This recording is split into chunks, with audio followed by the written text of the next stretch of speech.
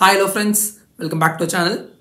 So today we'll be seeing some interesting clinical ABG questions as well as its solutions. How an ABG plays an important role in the management. That aspect we'll be seeing in detail. So if you haven't watched our previous video on basics of ABG interpretation, go watch it out. Then come back to this video so that it will have a clear view of what we are discussing today. Let's go on. So yes, we'll uh, brush up with the basics. Eight steps. First, pH, acidosis or alkalosis. Next, primary disorder, whether it's metabolic or respiratory. Next, calculation for compensation, secondary compensation. Next, analyze the compensation, whether it's compensated completely or partially or uncompensated. Next, if it is high anion gap metabolic acidosis, go find out its cause. If it is normal anion gap, go find out its cause. Last is the delta ratio interpretation. Okay. A 60 year old male patient, known case of diabetes, hypertension on irregular treatment, presented with unilateral leg swelling, severe leg pain, and high grade fever for last 5 days. And presently his BP is 70 50, pulse rate 120, temperature 100 Fahrenheit, dextrose is 220. So on examination, severe tenderness was present on the left leg and skin over the swelling is erythematous. Peripheral pulses were palpable. And ultrasound venous Doppler was done which was normal. And kidney function test, urea was 160, elevated way too high. Creatinine is 2.0 which is also elevated, suggesting some uh, acute kidney injury picture. Next, LFTs, AST, ALT both are elevated in hundreds and bilirubin is also elevated which means liver abnormalities are also going on. Next, D-dimer was normal and with a normal venous ultrasound which means deep venous thrombosis is ruled out completely. Now they are asking the ABG interpretation for this is high anion gap metabolic acidosis with compensation due to DKA, with compensation due to sepsis, without compensation due to DKA, without compensation due to sepsis. Yeah, so let's approach systematically. First, let's see the pH. pH, if it is less than 7.35, yes, 7.20. So, acidosis. Next step, metabolic or respiratory. Check for the bicarb. Is it less than 24? Yes, it is less than 24. So, it is metabolic acidosis. So, next third step is analyze for the compensation. Since metabolic acidosis, compensation will be PCO2 expected is equal to 1.5 into bicarb plus 8 plus or minus 2. So here if you apply 16 as the bicarb, 1.5 into 16 plus 8 plus or minus 2. So that will come around to 24 plus 8 plus or minus 2. The expected PCO2 will come in the range of 30 to 34. What about the given PCO2? It is 30. It is well within the compensated range. So it is analyze the compensation. Fourth step it is completely compensated. So it is a simple ABG disorder, not, not a mixed disturbance. Next step will be calculation of anion gap, which is sodium minus bicarb plus chloride. Sodium is 135 minus bicarb 16 plus 100. So this will come around to 19. So 19 and normal anion gap is 8 to 12. It is more than 12. So high anion gap metabolic acidosis is happening. We can tell it paka. Then what to do is next just look for the options. Is it there is there a need to calculate delta ratio or not? They are just asked HAGMA due to DKA or sepsis with compensation or without compensation. So we can stop our problem at this stage itself and we can analyze the question now. In the question if you see it's a type 2 diabetic patient. It's rare for DKA. Next is dextrose is 220. It's not that way high to cause DKA also. Okay. Anyway, we should be checking urine for ketones and blood for ketones, but still we'll check for the sepsis causes. See the patient with unilateral leg swelling in a diabetes is more towards cellulitis. Cellulitis and DVT should come to your mind if they tell if they tell of unilateral leg swelling. Here they ruled out DVT by giving normal D-dimer and normal ultrasound venous Doppler. So only choice is cellulitis. Cellulitis is there causing high grade fever which means sepsis has started to happen. And also if you see the patient's uh, kidney function test are deranging. Is going into AKI as well as liver functions are also deranging. And also BP is in the lower range, hypotension, which means the patient is in sepsis and septic shock with multi-organ dysfunction, kidney, liver, multi-organ is getting dysfunctions. So all these are happening, we can detect with this ABG. So next question will be, what is the management after seeing these reports? Option A will be, ensure strict dextrose control, give bicarbonate loading dose and inotropes for BP. Or start him on empirical antibiotics, give fluids, then inotropes and surgical debridement when needed. C. Start him on insulin infusion, antibiotics, inotropes. D is start him on thrombolysis. Thrombolysis will prefer only if it is DVT, it's not DVT. Next is they have given treatment for insulin infusion uh, will be given only in DKA. It's not DKA. So the most appropriate answer will be start him on empirical antibiotics to cover the cellulitis part and give him fluids because in sepsis initial resuscitation should be fluids. If it is not responding then only should go for inotropes. Next will be surgical debridement because the focus should be removed. Infective focus should be removed. Okay, that's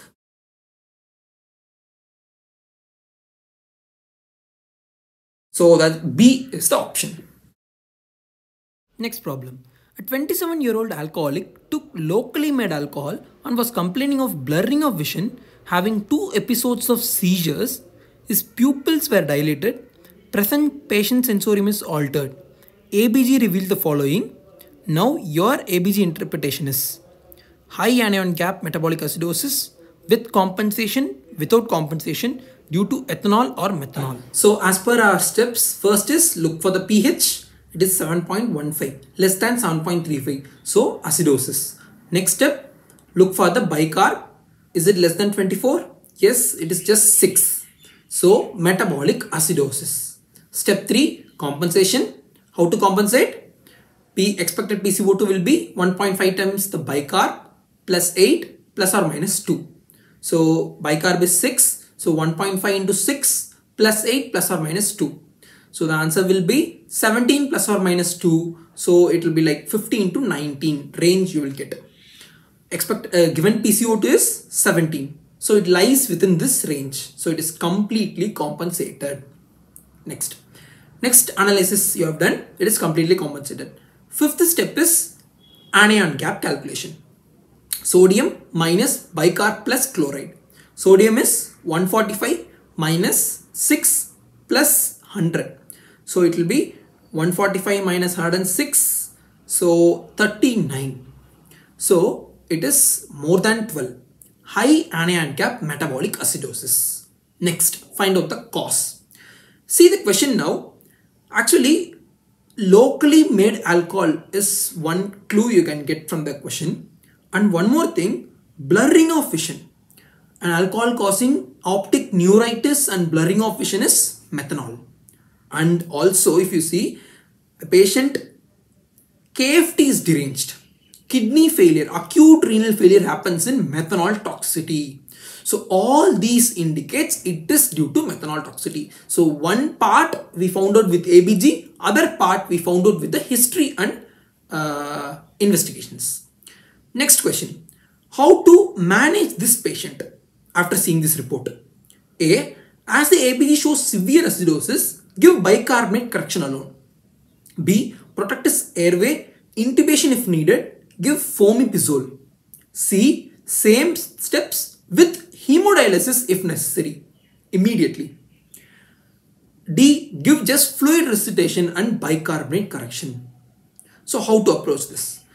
See in methanol toxicity, whenever the patient has high anion gap metabolic acidosis or the patient develops blurring of vision due to toxic neuritis okay it is irreversible and also if the patient develop any acute renal failure like KF, eh, not deranged KFTs here in these conditions you should go instantly and start hemodialysis to save as it is life-saving for this patient at this stage. So ABG plays a vital role in diagnosing this. Thus, the answer to this question will be protect his airway as he is altered, intubation if needed, and give fomepizole as it is an alcohol dehydrogenase inhibitor. And also hemodialysis immediately as the patient has all features of methanol toxicity. Next question.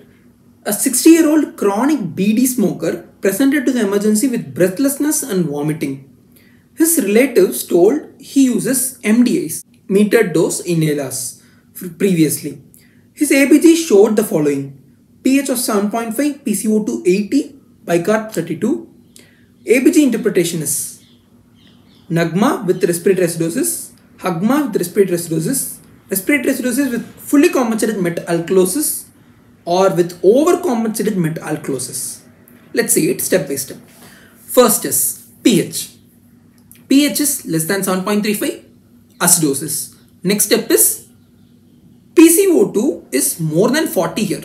So it is respiratory acidosis. Okay. Next, compensation. How to calculate the formula? It's acute or chronic. See it. He has presented with acute presentation. So for every 10 mm increase in PCO2, there will be 1 milliequivalent increase in bicarb. So from 40, PCO2 has increased to 80, which means 40 has increased. So bicarb from 24 will increase to 4 units. Uh, so it will be 28. So is it, next step is analysis of compensation. Is it 28? No, it is more than 28, meaning it is overcompensated. Okay, Yes. So why is it overcompensated? See the history once more. Breathlessness and vomiting is there. Vomiting means HCl is getting lost from the body, meaning alkali is getting added. That contributes to extra metalkalosis. So the answer will be D. Respiratory acidosis with overcompensated metalkalosis. Okay. What's your next step in management? A. Intubate the patient. B nebulization, IV steroids, BiPAP ventilation and then intubation. C same but CPAP ventilation. D is nebulization, steroids, diuretics and then intubation. What do you want to go? So in this if you diagnose, what is the diagnosis? COPD patient since the patient is using uh, MDS frequently and is having uh, breathlessness now.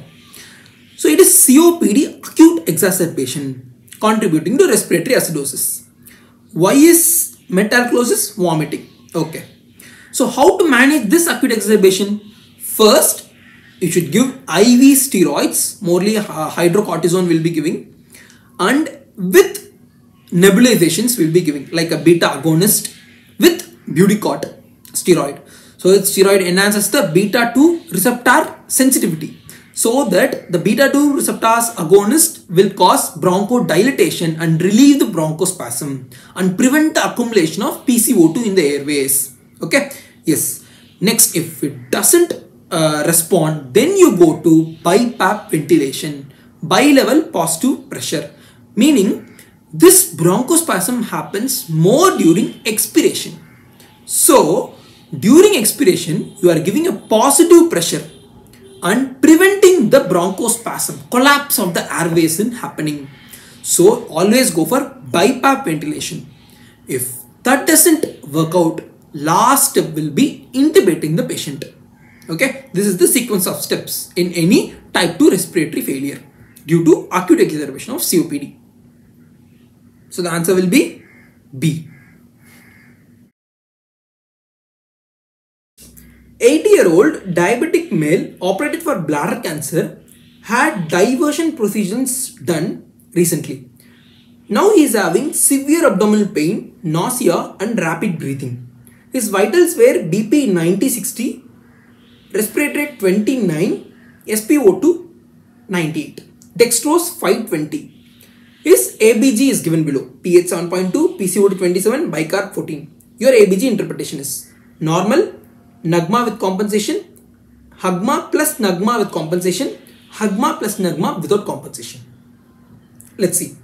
First, check for the pH. Step 1. It is less than 7.35 acidosis. Next, see for the bicarb, it is less than 24, 14. So, met acidosis is happening. Next, compensation 1.57 to 31. PCO2 is 27. It is completely compensated. Nice. Next, anion gap calculation. Sodium minus chloride plus bicarb. 140 minus 110 plus 114. Uh, 14.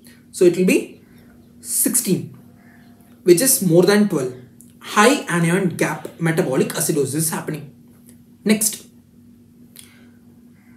delta ratio calculation. Delta ratio if you calculate, it is change in anion gap by change in bicarb, which means change in anion gap from 12 by change in bicarb from 24. So anion gap here is 16, 16 minus 12 by 24 minus 14. So it will be 4 by 10 which is 0.4 which is less than 1.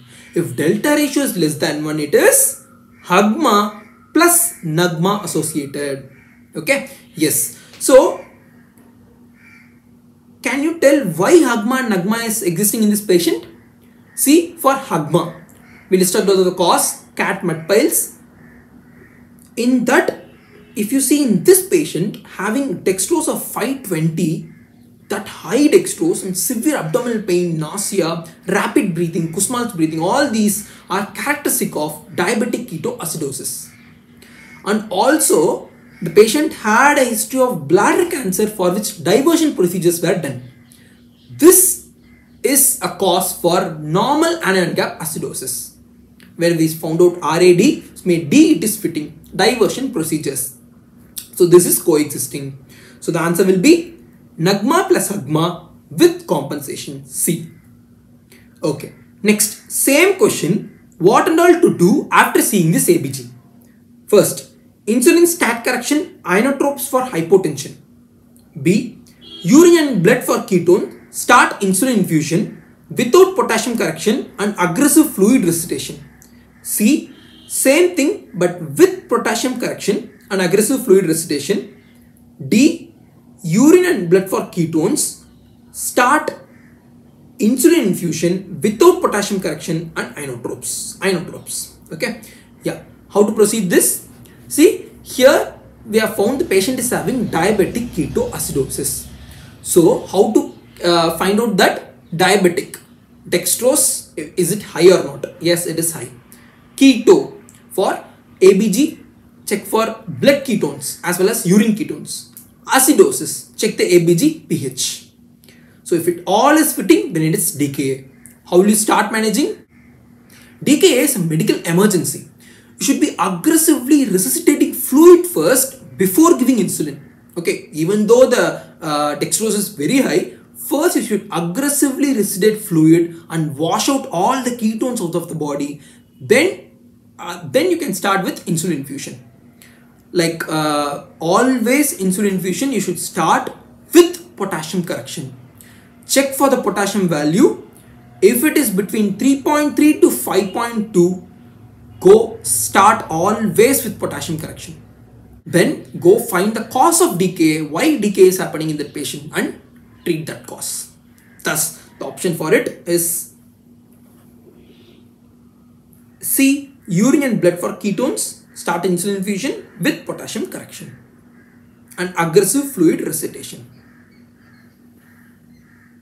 Yes, that's it for the day. Hope you found these solutions interesting. These questions are made in keeping with the in INICET in mind. So it might be tough for some people, but believe me, prepare for these type of difficult questions so that ABG calculation becomes really easy and it's a must know topic when it comes to NEET as well as INICET. All the best. Take care.